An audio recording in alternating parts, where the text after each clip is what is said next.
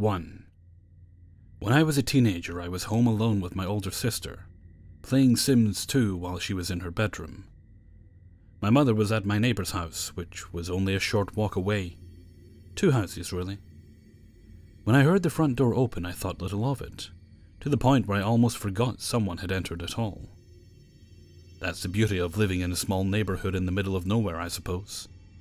I saw something black in the corner of my eye, and as I looked over at the hallway expecting to see my mother, a woman with short blonde hair, a black down jacket, jeans, and leather gloves walked in. I had never seen her in my life. She was looking around the place, at the pictures on the walls, our items, with a look that reeked superiority and a coldness I had never seen before. Can I help you? I almost stuttered, slowly getting up from the computer desk. I was so sure it was my mother, as nobody knocked, nor rang the doorbell prior to entering. For the sake of privacy, I'll call the person she asks for R. Where is he? You're hiding him, aren't you? While asking, or rather demanding, an answer, she started to move items around, opening drawers, like she expected to find someone there, moving lamps, looking through books. I don't know who you're talking of. I, I stopped. As a hulking man, young adult perhaps, stepped in behind her with his arms crossed. She picked up the phone on the desk and slammed it into my chest and sneered, R, I know he's been giving you stuff, and I'm taking it all back. Call him. Her eyes were wide with rage, and her pupils were so small in comparison to her iris. Yet somehow her eyes were so wide they almost looked too small in comparison to the bloodshot white in her eyes. I squeaked out that I didn't know his number, but she pointed out that his number was written down on a list with other phone numbers, and forced me to try to call him. I was shaking, the phone rattling in my hands as I listened to the slow beeping. However, it never reached him, which seemed to infuriate the lady. She shouted that she was going to take our TV and a bunch of other things I can't remember anymore. I pleaded for her not to take our stuff, and she suddenly took a hold of me and slammed me into the wall, the leather creaking in her tight grip. And the fist she was making. She was going to steal all our stuff and kill me to boot, I thought. As the voice of the man rang out, Mom, that's enough. That's not what we came here for. Her son tried to reason with her, but without touching her. Mom, I thought, and realized he might be a few years older than me 17, 18, 19 perhaps. He seemed scared to intervene. However, she only let go of me as we both heard my sister's voice in the hallway of the bedrooms. By then, I only remember screaming something to her and backing towards the balcony. My sister began arguing with them, and I started to go into full panic attack. I remember opening the door to the balcony, which was covered in snow, as I barefoot ran out into the cold and into the streets toward the neighbor my mother was at. I remember slipping on the ice, stumbling, but made my way there, where I incoherently told my mom and my neighbors what was happening. They ran out immediately, me tailing behind them with our dog which looked just as scared as I was. By then the lady had walked out with her son, still acting superior and high off her horse. She ended up clocking our neighbor in the face, and I'm sure the neighbor delivered in kind. Then they ran off down the road where it seemed they had parked their car further away from our house. I was shivering from all the adrenaline and the cold that was creeping in through my PJs. Apparently, I had woken up half the neighborhood due to screaming and crying, while running to my mother. In this situation, it felt like the only thing to do. I only remember that I needed to go and get her. But now that I'm older, I feel ashamed of it.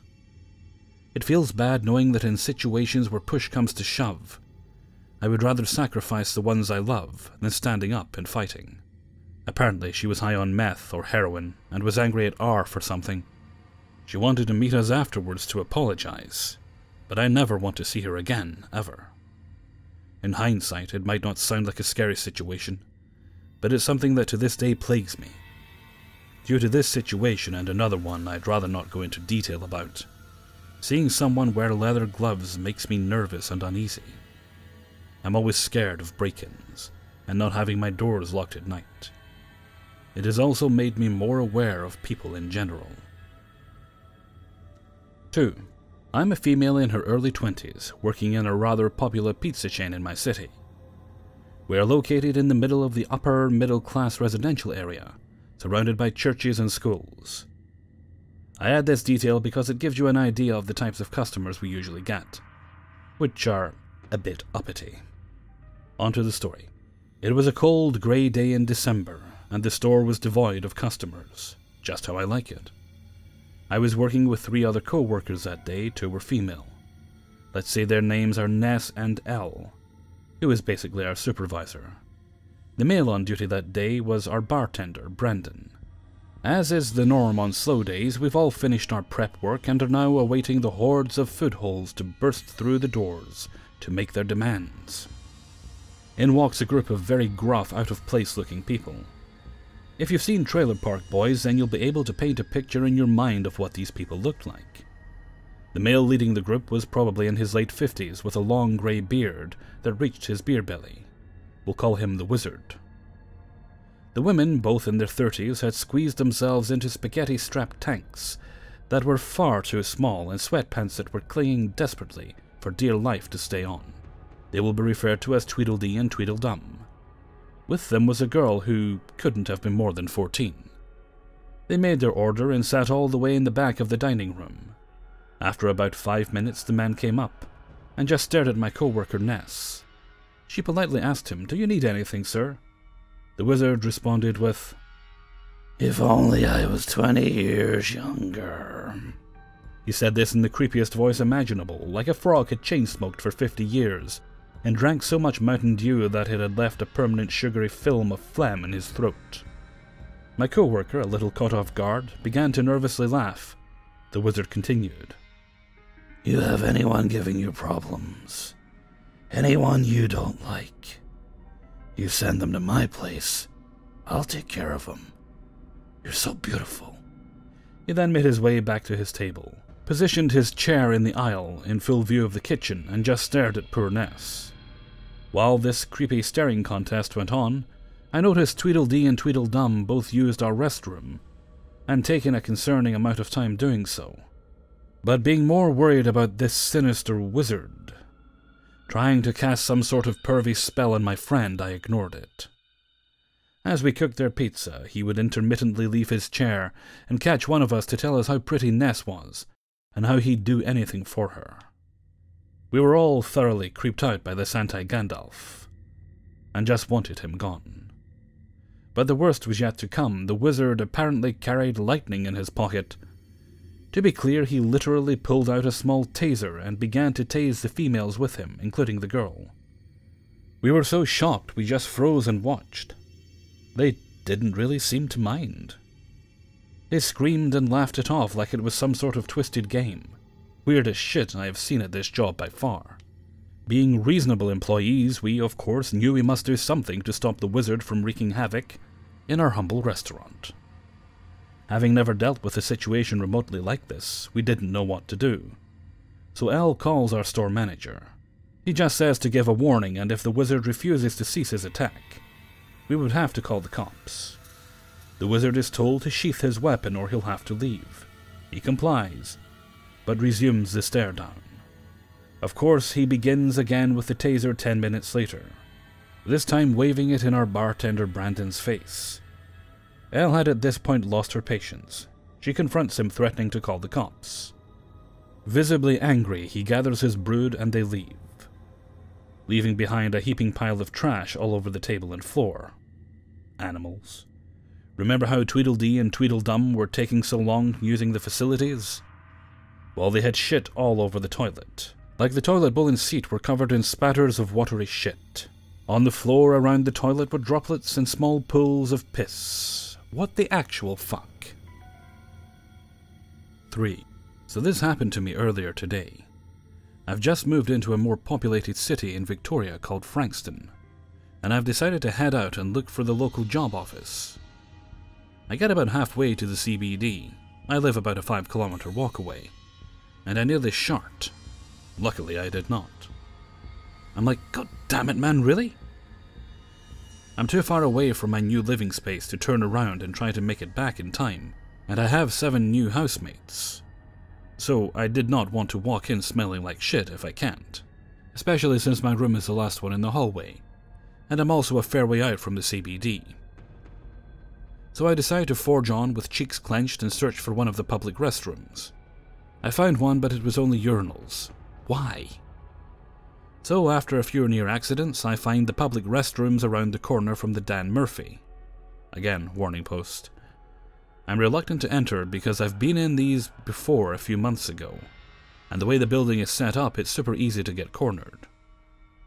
Rather than trying to get another 300 meters and going to the local shopping center, I decide to take the risk. I got lucky. So I carefully and quietly walk into the hallway that splits in two, and leads to either the men's or ladies. Both of the stalls in the men's room have been kicked in, and the stall I entered barely stayed closed, but I wasn't going to give up now. As soon as I sat down, instant relief. That is until I heard the scraggly voice of a woman that sounded like she'd been smoking for the better part of 40 years, and then decided to eat the butts and wash it down with pure ethanol. She heard me shart. She starts arguing with some guy that was in the ladies' room with her that sounded much, much younger than she was, about whether or not they should come out and see who had the tenacity to wander into a public restroom and actually use it. I actually think I woke them up. I decided to stay as quiet as possible while they continued to bicker about this and that. I wasn't really paying attention because I was trying to remain silent, while still sharting away as quietly as I could. Eventually, they calm down, and the woman puts on a baby voice and starts talking to someone in a manner that you'd expect when they're speaking with a dog or a small child. I didn't hear a response or any indication that there was anyone else with them, so I continued to stay silent. At this point, I started to smell something. It wasn't weed. It smelled similar, but had a sweeter aroma to it, with a bit of a burning plastic smell. That went on for a few minutes, and then they started discussing leaving, so again, I stayed silent and listened. That was a poorly attempted ambush to try and flush anyone out, as I soon discovered. When I was done, I stood up and had to debate with myself as to whether or not I wanted to flush the freshly painted toilet, which would definitely get their attention, or leave it for the poor bastard that would inevitably come and clean it. I flushed it, and in hindsight, I should probably have left it for two reasons. The first being that anyone else entering that facility that saw that, that wasn't turned off by the broken locks, likely would have gone to the shopping center. The second is that as soon as I flushed it, I heard the woman screaming at the guy. I told you go and check if there was someone else in here. You fucking shit-eating cunt. And footsteps. I very quickly left while maintaining a steady, controlled pace, and I'm not going back. So this is a PSA do not use the public toilets in Frankston next to Dan Murphy. I could have gotten myself stabbed. 4. In 2012, I lived in the northern part of Dallas, Texas, and drove my husband's standard transmission 2002 Dodge Ram, 2500 4x4 diesel truck. It's a large truck, slow to stop at high speeds. It's relevant. Also, at the time, I was about four months pregnant with my daughter. I was driving to work and was going the speed limit of about 55 miles per hour, and was heading west on the frontage road of President George Bush Tollway in Plano. I was in the right lane and was approaching the intersection of Independence and Waterview Parkway, and the light had just turned yellow. I had plenty of time to make it through the intersection without changing my speed, so I didn't slow down. I was the only vehicle traveling in the westerly direction at the time, and I saw an airport shuttle van waiting to turn onto the frontage road from the right, Independence. I noticed van kind of hesitating on whether or not he was going to go, so I paid attention to it and mentally prepared for what he would do. As I came through the intersection, the van shot out in front of me, slowed down and was riding and swerving between my lane and the center lane, as if trying to determine which lane I would take to avoid an accident. Knowing that I would not be able to safely change lanes at that speed, I slammed one foot down on the clutch and the other on the brake and kept the wheel straight and hoped for the best. When the van saw that I wasn't going to change lanes, he got full in front of me and slammed on his brakes and came to a complete stop. I managed to stop my truck a little less than a foot away from the van's bumper. When I didn't hit him, he floored it. and shot across all lanes toward the next ramp. Once I had gathered my bearings, I also sped up, still in the right lane. I came parallel to the van as he entered the tollway, and he looked over at me and flipped me the finger, like I was the one who had done something wrong. It all happened so fast and had so much adrenaline coursing through me that I didn't get the license plate, or even mentally register the company of the airport shuttle to complain or call the police. It still makes me mad to this day that I didn't get those details to report the guy. There are people out there willing to cause accidents and harm other people to make fraudulent insurance claims. Be on your guard. Know your vehicle and its capabilities. Knowing that perhaps saved me and my unborn baby. 5. The following two experiences are both shelled by Narelle F. Guardian Angels. This happened in May 2010 in Victoria, Australia. I was driving back home to the city from the country after my mum's 60th birthday I had to leave at 2 am to get to work for a 6 am start. This was because I had just started a new job, so I felt I couldn't ask for the day off. I was feeling wide awake and up for the drive, with coffee and the music on. I have done this drive many times before, albeit mostly in daylight hours, as I frequently visit my hometown where my mum lives. But the following occurrence has only happened to me once. I was driving through an area that was affected by bushfires in the mid 1980s, on a particular section of winding road. As I rounded a sharp bend, I heard my name being whispered and saw a faint shadow of a woman and child behind the road barriers. This happened in a split second. It startled me, but I wasn't scared. I drove on and kept thinking about what had happened. I felt calm and alert and decided that the woman and child were there to caution me and keep me safe.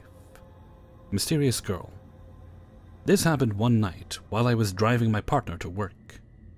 It was around 10:30 p.m. He is a baker. As we drove down a residential street in the suburbs of Melbourne, Australia, we saw a girl in the driveway of a house. She was wearing an old-fashioned white nightgown, and she had long black hair. She looked to be about 12 years old due to her size, but we couldn't see her face as she had her head down, looking at the ground. Alarmed, I said, Oh my gosh, there's a girl. She looks too young to be out this late. My partner said maybe she is sleepwalking. I agreed. But when I looked in the rear view mirror, I couldn't see her. I just thought I wasn't looking in the right spot or that the trees were now obscuring my view. My partner, who had been turned around trying to get sight of her again and make sense of what we saw, said he could not see her any more either. We began discussing how strange it was. I said if she was sleepwalking, how does she get outside? Wouldn't her parents keep the doors locked? My partner said yeah, and now that I think about it, I haven't seen anyone with a nightie like that. The more we talked about it, the more we were confused about what we saw. On the way home after dropping my partner off at work, I went down that same street. As I looked for the house, I felt a bit creeped out, but I did not see the girl. We often recall that night whenever we drive down that street, but we have never seen the mysterious girl again. Hey everybody, Hellfreezer here, and thank you very much for listening to 5 True Scary Subscriber Stories, episode 69. And thank you very much to everybody who sent stories in for use in this video.